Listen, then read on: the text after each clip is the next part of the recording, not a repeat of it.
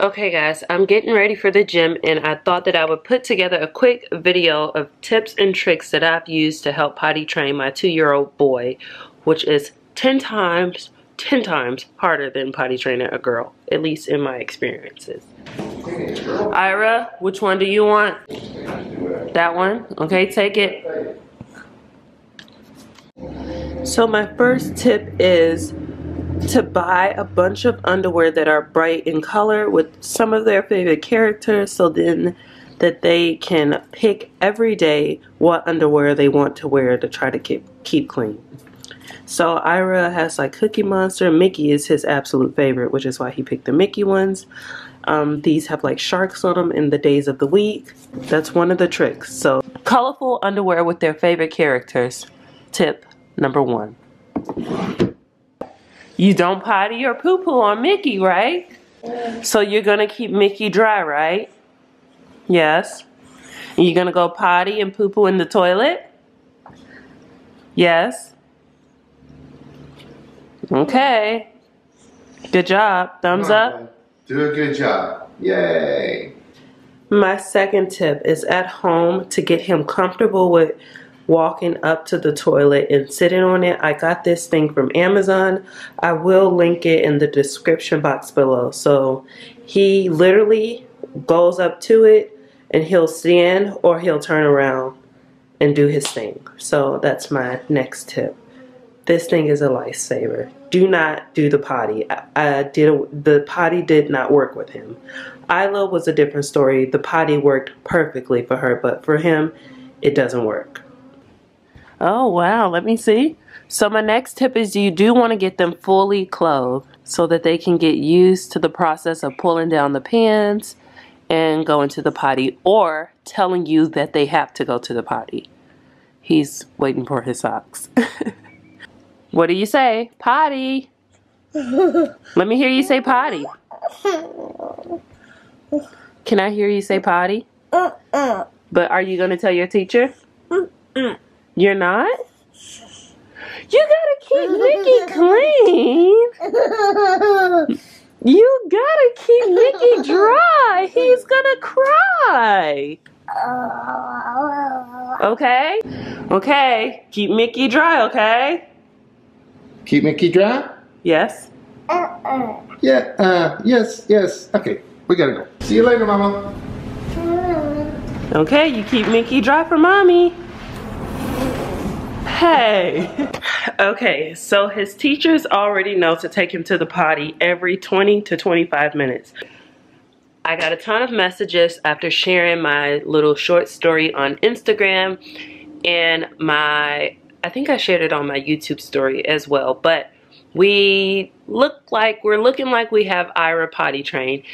As long as his school sticks to our methods, is gonna work. So I took down a few notes so I won't forget anything.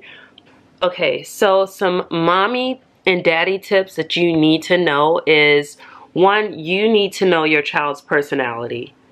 Um, with this method or with potty training period, there's to be a ton, a ton of trial and error. But you need to know your child's personality. For Ila, she's one who loves the camera, she loves people, she loves attention, positive reinforcement, she eats it up. She loves it.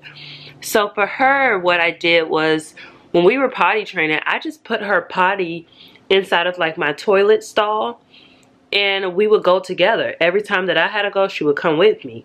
And she loved that idea of let me go to the potty with mommy. Like, let me be like mommy. And us doing it together, she just picked up on it. And she was potty literally, I want to say before two years old. I, I believe she was potty before two years old. But yeah, she loved that idea of being able to go with mommy. What I also did with her, which I'm going to insert pictures here, was we did like a sticker chart. So every time she would go pee or poo, we would put stickers on the sticker chart. And she loved that idea of, okay, I went to go pee or poo, let me put my sticker on. So if she would go a number two, then we would put two stickers on. And she just, she just, she just loved it. Not only that, but she would also love to take pictures with her little business. She, I don't know, she just liked to take pictures like, I did it, I did it. And yeah, it worked. It was just like stickers, pictures, boom, potty train. Ira, no. I tried the same sticker method with Ira, which I'm gonna show you right now.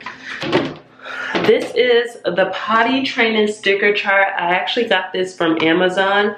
If you want to try this method, by all means, give it a shot. Again, it's gonna be a lot of trial and error and you just have to know your child. So I tried this sticker chart with Ira and he just was not here for it. It did nothing for him. But what does work for my child? He loves to be bribed with things. He loves food. He's a foodie. So I stock up the fridge on all his favorite snacks, whether it be frozen yogurt, um, if your kid likes blueberries, they're positive reinforcement. So if they go pee or poo, you make sure that you have that as their reward. Um, that's what he does look forward to. It might be a cookie. It might be um, so a, Reese, a small mini Reese's cup. I know it's bad to give them candy. Um, you can do sugar-free candy. There's gluten-free suckers. It's so much little treats and things that you can think of to help that child know that, ooh, if I go, then I'm going to get this. It works. if he goes number two, he gets a frozen yogurt, which he thinks is like ice cream. So he loves that. So again, treat, bribing, it works. Hands down, it works. Another thing that I would say is for Ira, it, he doesn't like positive reinforcement. So he kind of gets shy and shut down if you kind of like, oh, oh, you did this, you did this. Good job, good job. But do it anyway. Because them just knowing that you're proud of them, it boosts their confidence. It boosts their self-esteem and they know that they're doing a good job. Anytime that they feel like they're taking on a responsibility, it makes a little kid feel so good. Like today I just keep telling him before he left out for school, you got to keep Mickey clean. You got to keep Mickey clean. You can't get him wet. You can't get him dirty. You have to keep him clean. And him just hearing that and knowing that he has a job, it makes him feel good. So try that. Another thing that I would say is keeping clothing on them. So I can tell you guys that, again, I've been through this. I've had plenty of trial and error. I started early because I heard that boys are much harder than girls. Um, in the beginning, I would allow him to just be completely naked and just go to the potty when he needed to. You saw the stepping stool that he uses, so it's not like he needed the assist, but he would just go. And when I mean he would just go, he would just go and not tell us anything. So the next thing you know, I would see little shit streaks on my on my couch and stuff and I'm like, ah! So that was what I learned. You have to have to keep them on a piece of clothing so that they can tell you. So for me, I've been doing, because he doesn't really like clothing in the house, so I'll do his underwear and a shirt, but a shirt that's short enough where I can still see his underwear and be able to monitor if those underwear are wet or not. Or I can just check it with the back of my hand if they're wet or not. But luckily, no problems, because when he has on those underwear, he has to come and tell me because he can't pull them down all the way to go poor P. So also come up with a keyword. So I noticed for Ira, he calls everything boo-boo. I boo-boo. I boo-boo. Actually, that was one of my first signs that he was ready to go because he would tell me, I boo-boo. Okay, you saying you boo-booing the pull-up? It's time to go to the bathroom. He knew how to connect boo-boo and it's in my pull-up, so I, I, I need to be changed. Another thing that I knew that he was ready to go was when my first test was at nap time. For the first time ever, I had taken him off a pull-up. And, oh, I do want to add that too. With knowing their personality and things, and with my trial and error, I, I wish that I would not have went to pull-ups. I wish that I would have did like Ila, where I went from diapers to underwear. I wish for him that I wouldn't have did pull-ups because he still thinks, I mean like it's easy to disconnect that once I have that cotton feeling on that I can still go because a pull-up is much like a diaper, you know what I mean? So me personally, I would just say skip the pull-ups. If I can do it all over, I would go straight from diaper to underwear. So as a mom, I'm telling you guys, I believe the best advice is to go from diapers to underwear. Diapers to underwear. Skip the pull-up phase.